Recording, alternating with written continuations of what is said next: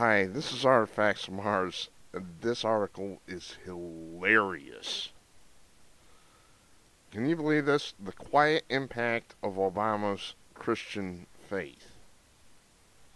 Oh my God. Resident Obama, I said Resident Obama intentionally, was flying over Los Angeles in June as he listened to the first accounts from a courtroom in Charleston, South Carolina, where family members of nine dead parishioners who were gunned down by Emmanuel African Methodist at Emmanuel African Methodist Episcopal Church just addressed the killer.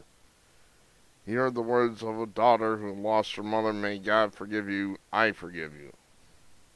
He listened to the plea of a mother who lost her son. Every fiber of my body hurts, but may God have mercy on us. I'm not mocking them. I'm mocking Obama. President paused the thump of the helicopter's blades, filling an otherwise silent cabin. He had planned to tweet some statistics later that day comparing gun violence in the United States and other developed countries, but now he told his staff to cancel that. Instead, in the Oval Office two days later, he seized upon something that seemed more important than any argument about gun control, an idea central to his political identity and his conviction that could unite, unify the divided nation the essence of what is right about Christianity is embedded here. He said of the families, according to notes taken during his meeting.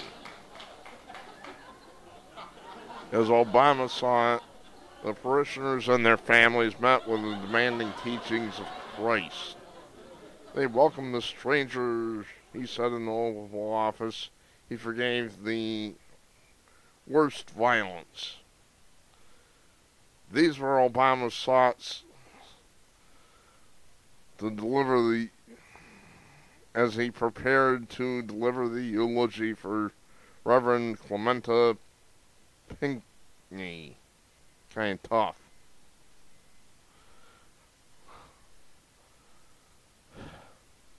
This Obama did not grow up in a household and became a practicing Christian as an adult. He has written more extensively about spiritual awakening than any other modern president.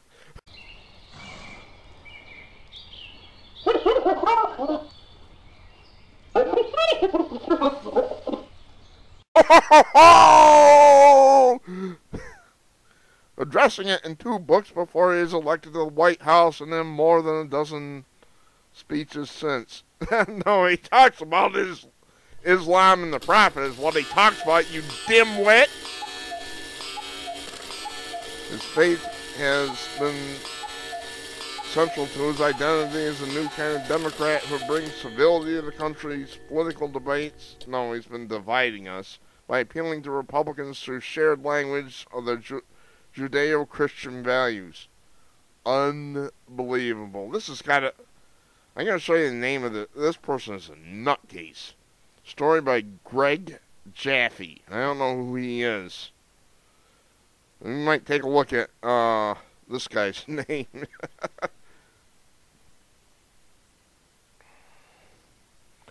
in his final year in office, Obama hopes to work with Republicans and evangelical Christians on criminal justice reform. Actually, he's uh, letting it, uh, as many thugs out of prison as he can. That is bullshit. He will make a renewed push on gun control and seize our ability to defend ourselves and the closing of U.S. military prison at Gitmo Bay, Cuba. He's trying to figure out how to get a lot of these big things he cares about out of the box of political opportunism and into a more hu- humanistic space says a senior administration official, who's probably a Muslim, who spoke on the condition of anonymity to discuss planning for the president's final year in office, meaning he's going to screw us. Same impulse drive drove Obama's Charleston eulogy. In the days before the funeral, Obama's speechwriter Cody Keenan compiled 19 pages of notes on the families and their church. He re- reread James Baldwin to keep him help him think about the race relations and the Holocaust era theologian Dietrich Bonhoeffer better understand the nature of tragedy in Greece. Need I go on? Uh,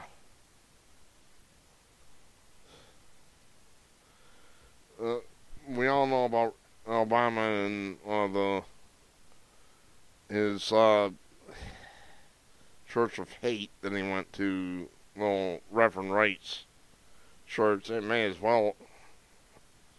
That was just a Church of Hate.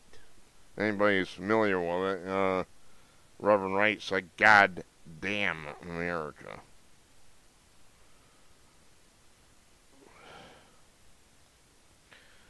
We've actually, he's actually, Obama's actually, I've been noticing it.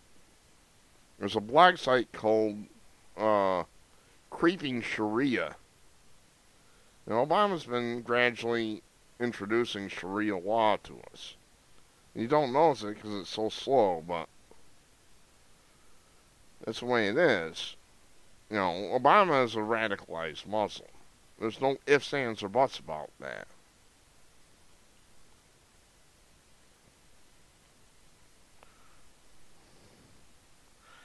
And this thing goes on and on. I don't want to bore you too much. This is this is hilarious. This article's up on the Washington Post. If you want to see it, I I literally laughed so hard I almost rolled out of my seat.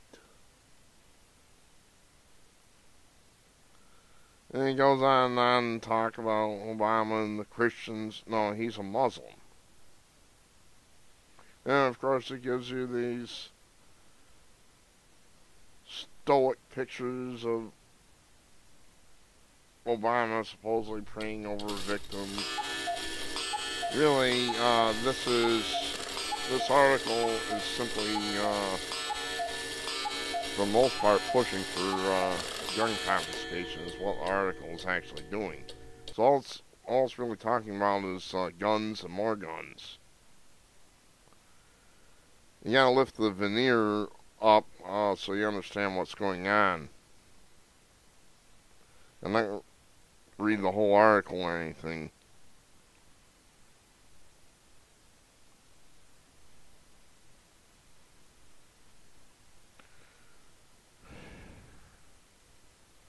This is unbelievable, folks. But I had to share. Uh, this is utterly absurd. This guy is a radicalized Muslim. And he's supposedly surrounded himself with brother Muslim Brotherhood in his administration. An example is uh, John Brennan, who's Muslim Brotherhood. If this if this guy's a Christian, then I'm Don Juan. Good God. Don't be so stupid, people. Now, shall we look a little a few facts here. Obama has uh, helped to foster Islamic revolutions everywhere we've looked. Obama has been uh, foisting uh, Muslim so-called refugees, which are not refugees at all, on us, and excluding Christian refugees from Syria, where they are being uh, persecuted. Very few Christians. I think there's one or two that are coming in, but very few of them. You call this guy a Christian? He won't do anything about Christians that are being persecuted overseas. But he'll do everything that, uh, to go out of his way to help Muslims. Do you need to see anything more than that? Do you honestly believe this guy's a Christian? I tweeted this guy and told him to check himself in. He's obviously delusional. And that's it. That's it. I mean, just laugh at this. This is a nutcase who wrote this.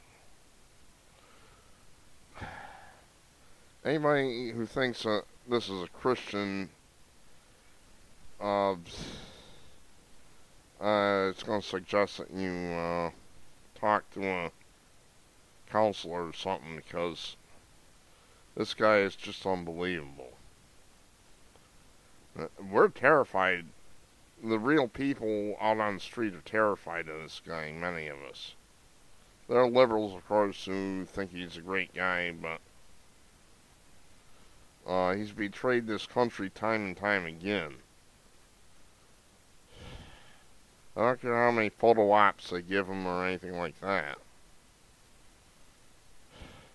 We're scared. For, we're scared. This is the last year, and we don't know what's going to happen. I think it's obvious we're going to have more and more increased uh, terror attacks by Muslims. That one's uh, pretty obvious. And so Obama who's helped to fo foster that. He blows up sand dunes while uh, saying that he's attacking ISIS. We could have beat ISIS very quickly and stopped this, but he's allowed them to spread. Basically, we blow up sand dunes, and we're not taking out any strategic targets. He's specifically forbidden our military to take out specific targets. They're lined up on the roads, you know, all you had to do is uh, send in a few dozen Tomahawks, then bring in the helicopters to gun down the survivors. Not hard to understand. We could have stopped them a long time ago. I'm hoping for Trump. Trump says he's going to carpet bomb the bastards back to the Stone Age. I hope he's serious, that's all I can say. This is Artifacts Mars. Thanks for watching.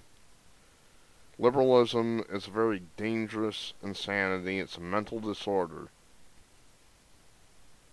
Thanks for watching.